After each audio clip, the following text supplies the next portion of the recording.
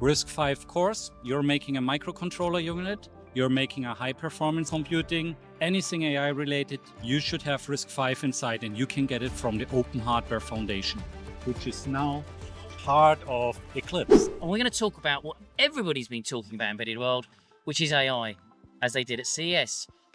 The interesting thing about chatting about AI is they seem to be not talking about the implications of what that means to you as design engineers. Because the moment AI starts getting into your systems, the moment you have to start dealing with the, the, volume of data, the speed of data, the power consumption of that data from that MCU, that AI chip, everything else on the board is going to change.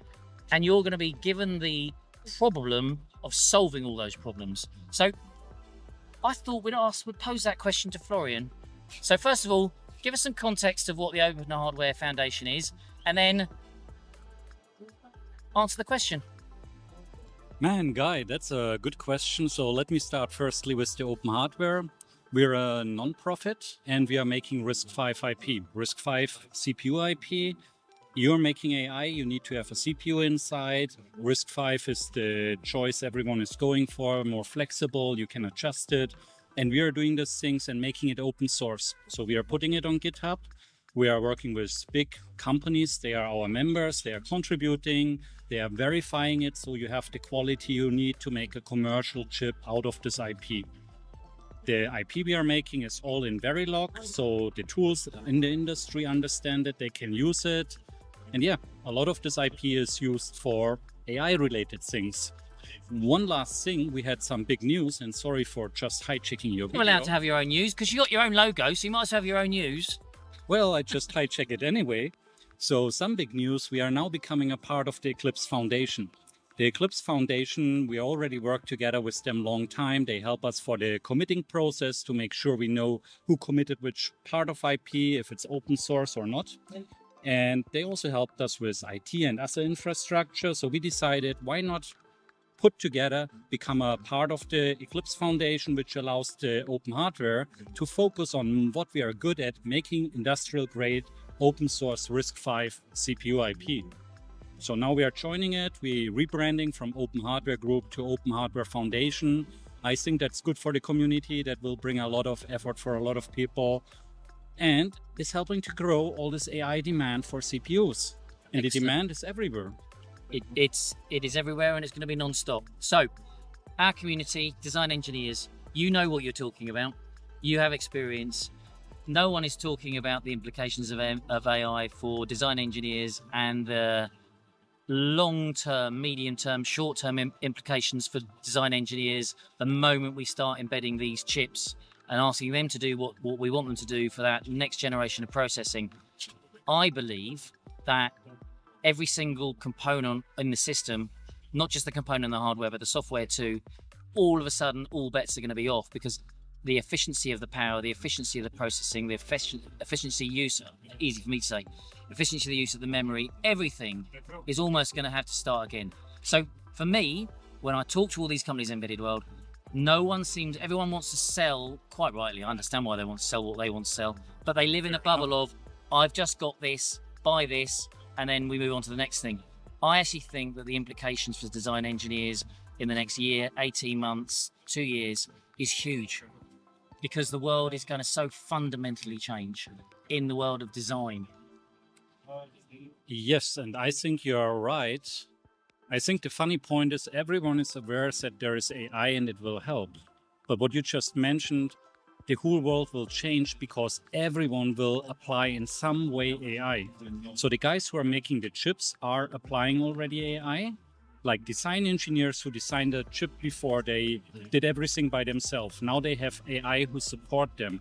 So they can have some boring tasks automatically suggested by AI. They only review it. Yes, that's good. We are putting it inside. They have more time to bring new features in. And that's the guys who are making the chip. Now, the guys who are putting the chips on PCBs and connecting them, they are also talking about AI, but they also got support from AI. So they get layout tools which are AI supported, so they can make yep. more different designs, or they can adjust the designs.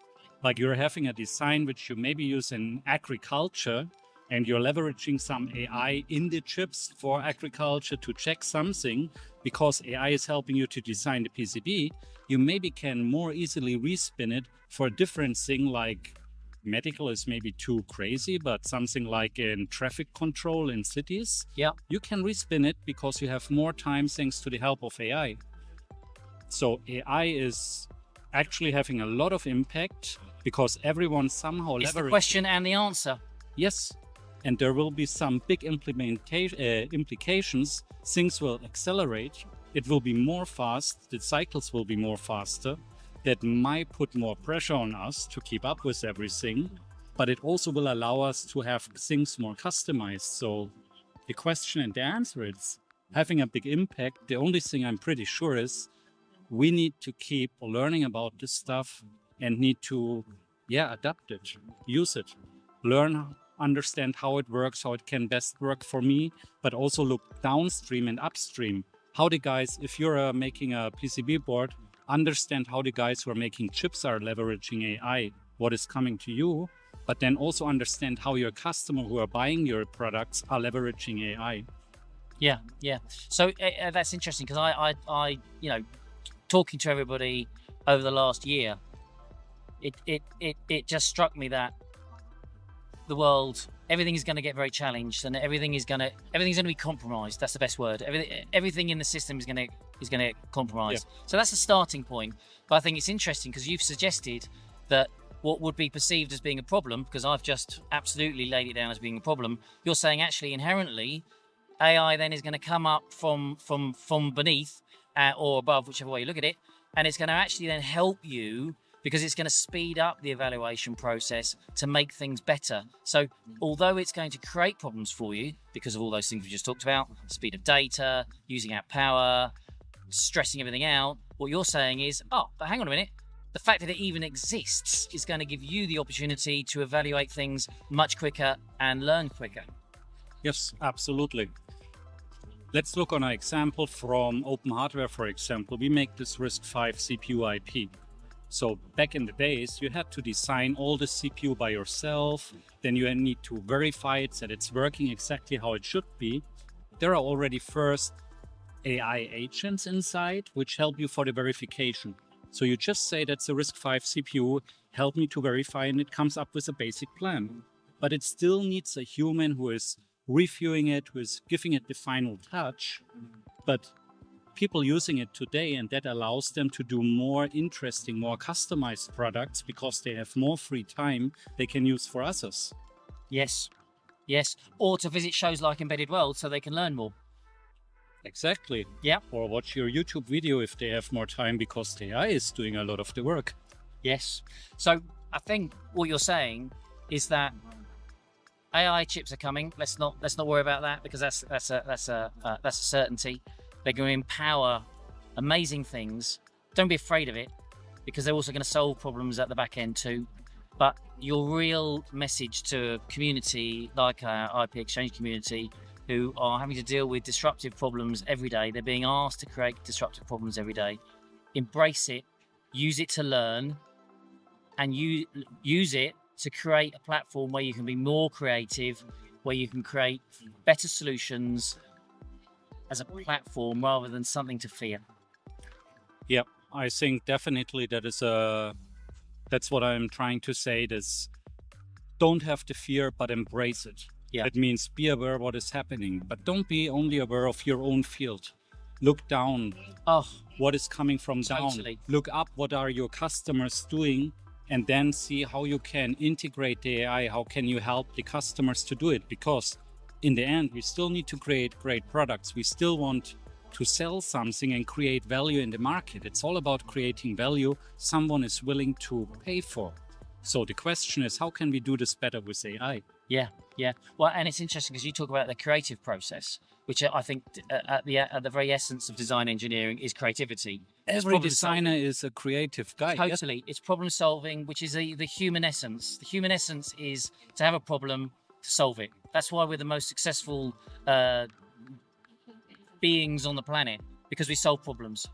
And, you know, when we go uh, with ipXchange, we go we, we, we go around the world and we go to these shows and, you know, we on purpose don't and it's not because they're not great companies because they are great companies but the major major semiconductor companies which are great companies they are the backbone of our industry and we couldn't do what, what, what we do without them but every time i go to one of these shows and i report back to our community i stumble across companies that i have never heard of i have no idea they existed i had no idea that they were solving those problems I had no idea that they had a solution to something that I never even knew there was a problem to. And that is a continuous churn of innovation, Yeah. a continuous churn of creativity. There is actually also one more thing because you see all these companies, but like you're going here on the embedded world North America, you see a lot of companies using the same terms like AI or edge AI. But the very interesting thing, what I I've got a new one. found, They're all using the word fleet. They've all Fleet. started using fleet. Oh. I don't know where that's. but everybody start. I think everybody's now a naval officer. There's my fleet. that's my fleet. That's my. We called it smart things before. Now we are calling it now smart. they're fleet. Yeah. But there you go. The interesting thing is everyone is kind of using the same term or this kind of high level term, but in different ways. Look at some chip manufacturers like Silicon Labs, for example. They say they do edge AI, but then you go to ASUS and they are also saying we are doing edge AI, but Silicon Labs has a small CPU and ASUS has a big server. Yeah. So the thing is, They're using no the same one of term, but them is is completely wrong. different. Yes Yeah. and no one is really wrong about it they are all doing great things and that's what i s- what i'm trying to say you need to keep looking up and down what are the chip guys doing how does it fit in this bigger server what is the different market they are addressing because in reality it's not really different it all is interconnected Yeah. interweaving Yeah. So don't get locked in your bubble. Don't get locked in. I'm the Bluetooth engineer. I'm the antenna engineer. I'm the CPU engineer. I'm the whatever engineer. Actually, it's all interconnected, and I have to know. As I, I you know, I I have to be uh, a s- phrase that I heard the other day: uh, an inch deep but a mile wide. You have to know. You have to have a taster for everything, in order in order to understand the context of the problem that you're trying to solve today.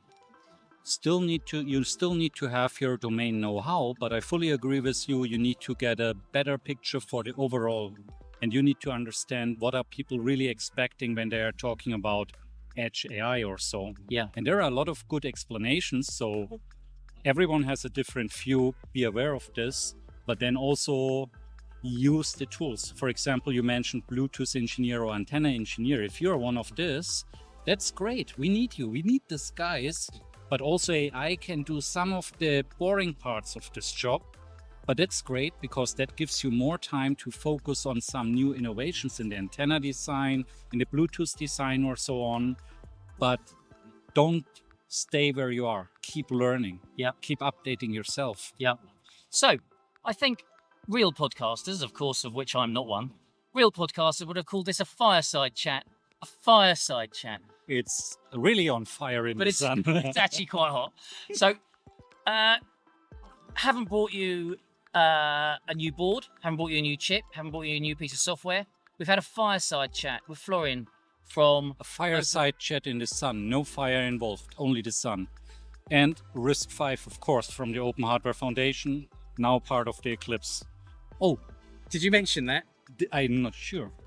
Is it okay I do some marketing? Do it. Okay, Whatever. RISC-V course, you're making a microcontroller unit, you're making a high performance CP, uh, high performance computing, anything AI related, you should have RISC-V inside and you can get it from the Open Hardware Foundation, which is now part of Eclipse. Thank you. Oh, Hey, yeah. I hope that was not too over. Not at all. Not at all. Not at all. Good, good, good. Bless your heart. My pleasure, Guy. Always great to be here at the ipXchange. The message is keep learning, keep experimenting, Yes. be open hearted and open souled, open intellect. Go to shows like Embedded World, wander around, ask questions, delve, rummage, discover stuff you didn't know. Don't stay in your cubicle. Don't think things like ipXchange have all your answers. I try, we try, but we will fail. We cannot cover everything and we don't have all the answers to your questions. So go to Embedded World, wherever it is, whether it's in Nuremberg, whether it's here, I think it's going to be in Anaheim next year. Go to Embedded World, rummage around, meet people like Florian with years of experience and knowledge and learn. Thank you. Thank you for listening on our fireside chat. Thanks, everyone. It was a pleasure, Guy.